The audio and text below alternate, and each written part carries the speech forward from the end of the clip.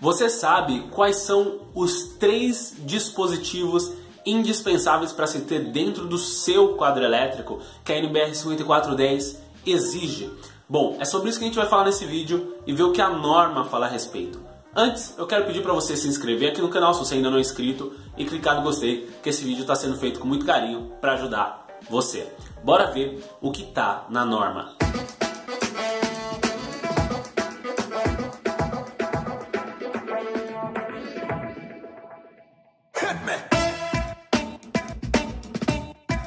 Olá, seja muito bem-vindo a esse vídeo. Meu nome é Irving Gomes e a gente vai falar sobre os dispositivos de proteção para se ter no seu quadro elétrico. Inclusive eu tenho um desafio para que você escreva aqui embaixo nos comentários ou mande uma foto nos comentários se você estiver no Facebook, mostrando seu quadro elétrico, falando se você tem todos esses dispositivos de proteção. Mas Irving, dispositivos de proteção, proteção para quem ou para quê e proteção do que, afinal de contas? Vamos começar falando sobre quem ou o que esses dispositivos protegem. A primeira coisa que a gente pode pensar que esses dispositivos protegem é a sua instalação elétrica. Então a preservação da instalação elétrica, cabeamento, interruptores, manter a instalação elétrica em boas condições de uso. Segundo ponto de proteção é a proteção dos equipamentos. Então, televisão, computador, todos os dispositivos que você tem na sua casa têm que estar devidamente protegidos para que eles não queimem.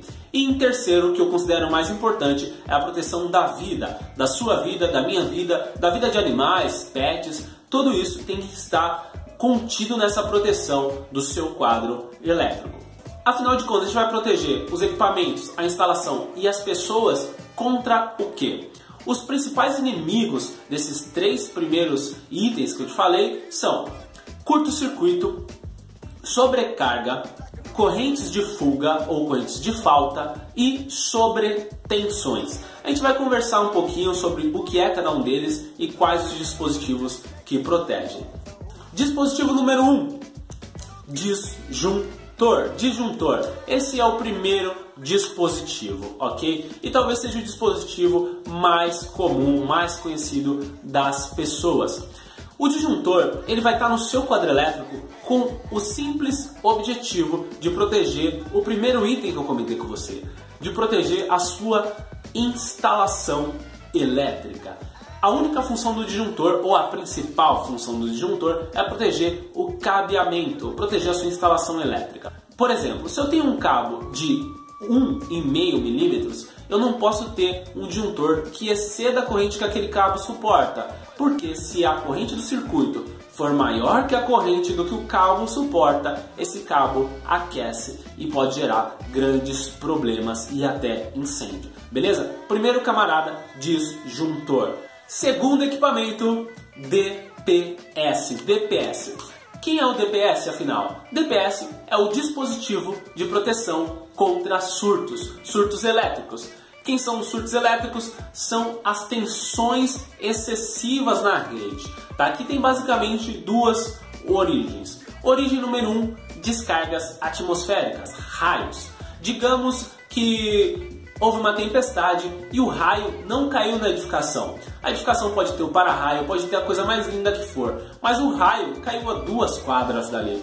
E toda aquela energia que chegou, por exemplo, no poste elétrico, vem percorrendo pelos cabos até chegar na casa. Então, essa energia cedida que supera os 220 volts, com certeza, ela vai chegar até os seus equipamentos. Mas se você tiver um DPS instalado, essa energia excessiva ela entra pelo DPS e não vai para sua instalação, e sim escoa pelo aterramento, retornando para sua origem e não danificando seus equipamentos. A segunda origem, a segunda origem de sobretensões são as manobras da concessionária de energia. E aí pode ser Eletropaulo, CEMIG, Copel, CPFL, qualquer concessionária de energia vai ter esse problema de desligar e quando religar a energia, a tensão vem superior à tensão nominal de 220, 380, 110, conforme for na sua região. Quantas vezes você já ouviu alguém reclamar que perdeu o equipamento porque a energia acabou e depois voltou ou porque caiu um raio a não sei quantos quilômetros de distância. Com um camarada desse, com um DPS, você protege a sua instalação elétrica e você contra sobretensões.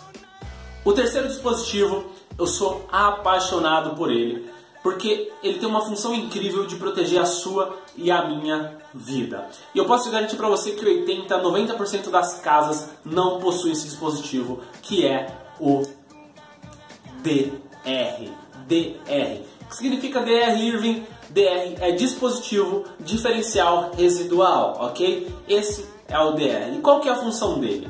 A função DR é desligar a instalação elétrica toda vez que ele detecta que, por exemplo, uma pessoa está tomando um choque. Então, em fração de segundos, a sua instalação elétrica é desligada, protegendo a integridade da sua vida. Pô, mas como é que esse dispositivo detecta isso, né? Como é que ele sabe que tem alguém tomando um choque, por exemplo?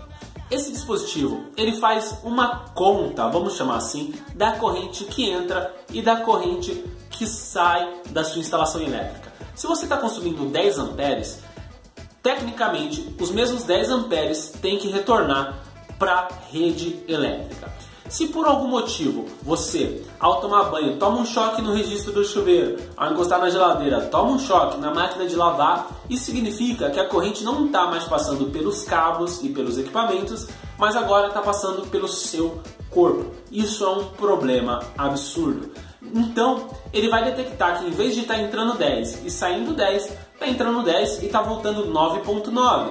9.9 já significa que alguém pode estar tomando um choque. E aí, em fração de segundos, ele entende isso e já desliga a sua instalação elétrica, protegendo a sua vida, tá ok? Então, o DR ele vai estar tá lá para proteger principalmente a sua vida contra essas correntes de fuga, contra os choques. Com isso, você acaba de ser apresentado para os três dispositivos indispensáveis para um quadro elétrico residencial, que são disjuntor, DPS e DR também, ok? Esses são os três dispositivos que tem que ter no seu quadro.